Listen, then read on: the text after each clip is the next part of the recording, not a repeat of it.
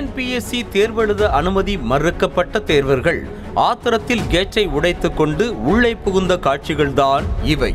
தமிழ்நாடு ஊரக வளர்ச்சி மற்றும் ஊராட்சி துறையில் உள்ள சாலை ஆய்வாளர் பதவிக்கான எழுத்துத் தேர்வு. டிஎன்பிஎஸ்சி சார்பாக காஞ்சிபுரத்தை அடுத்த ஏனாத்தூரில் உள்ள சங்கரா கல்லூரியில் காலை மற்றும் மாலை என இரு வேளைகளில் நடைபெற்றது. மதியம் இரண்டு மணிக்கு வந்த தேர்வர்கள் கல்லூரியின் கேட் இழுத்து பூட்டப்பட்டதைக் கண்டு அதிர்ச்சியடைந்தனர்.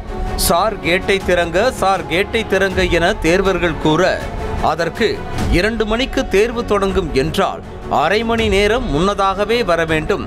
நீங்கள் லேட்டா வந்ததால் தான் அனுமதிக்கவில்லை என போலீசாரும் அதிகாரிகளும் தெரிவித்துள்ளனர்.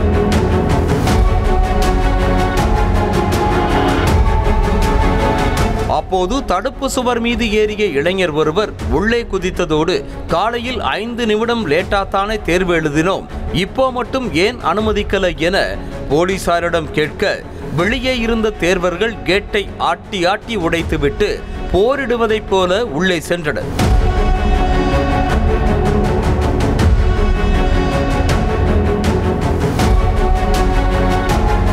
இதனை எதிர்பாராத போலீசார் மற்றும் அதிகாரிகளோ சரி இவங்களை இனி ஒன்றும் பண்ண முடியாது என்று நினைத்து சைலண்டாக இருக்க தேர்வர்கள் ஹால் டிக்கெட்டை கையில் எடுத்துக்கொண்டு அவர்களுக்கு ஒதுக்கப்பட்ட அறைக்கு ஓட்டம் பிடித்தனர். பின்னர் அங்கிருந்த போலீசும் அதிகாரிகள் எல்லோரும் ஆளுக்கால் தங்களுடைய செல்போனை எடுத்து யார்கிட்ட சம்பவத்தை பற்றி சொன்னாங்களோ தெரியவில்லை.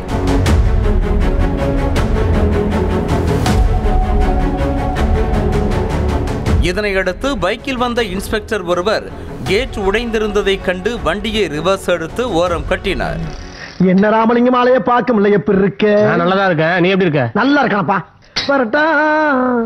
பின்னர் தேர்வு மைய கண்காணிப்பு அலுவலர் தேர்வு மையத்திற்கு வந்ததால் பரபரப்பு ஏற்பட்டது. காவல்துறையினர் குறைவான எண்ணிக்கையில் பாதுகாப்பு பணியில் இருந்ததால் தேர்வர்களை தடுக்க முடியாத நிலை ஏற்பட்டது குறிப்பிடத்தக்கது. இப்படி தேர்விற்கு லேட்டாக வந்துவிட்டு அட்டூழியத்தில் ஈடுபட்டால் எப்படி என காவல்துறையினரும் அதிகாரிகளும் கேள்வி எழுப்பி வருகின்றனர்.